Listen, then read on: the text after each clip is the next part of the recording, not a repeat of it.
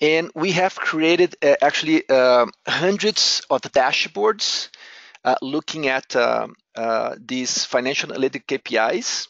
Uh, this is just an example where we're comparing operating income versus uh, gross profit. So in this case, the gross profit is the is the blue bar. the operating income is the other bars with either orange for negative numbers and blue for positive numbers. So you, you see the amounts here and the percentage at the bottom of your um, operating income growth.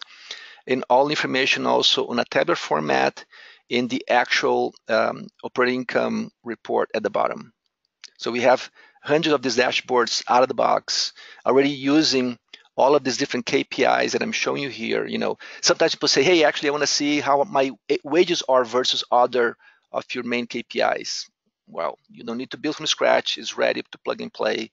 Uh, once you map uh, your wages and tell what the sec, you know what the range of the uh, GL account numbers come from, uh, reports like this uh, will pop right off the bat showing uh, your KPIs. All right.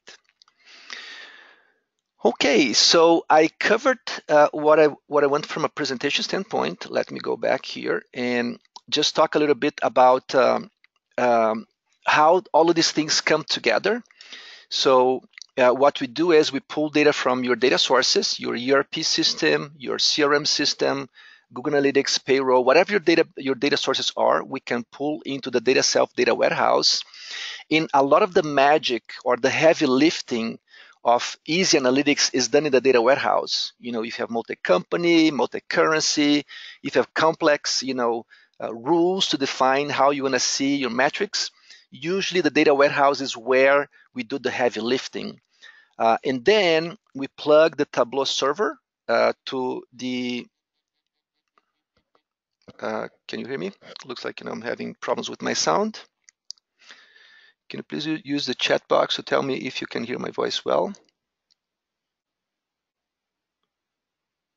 Can you hear my voice well? If you can, please chat me. Uh, someone told me a message that I, they cannot hear me.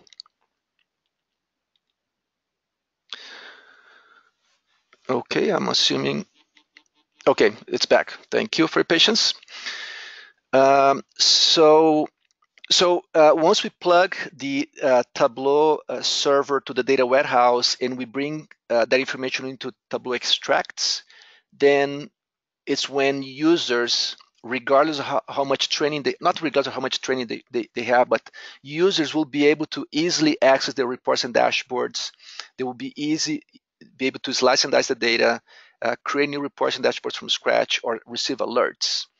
Um, out of the box, we have more than 5,000 reports, dashboards, and KPIs. Uh, on the financial side, we have about uh, a thousand.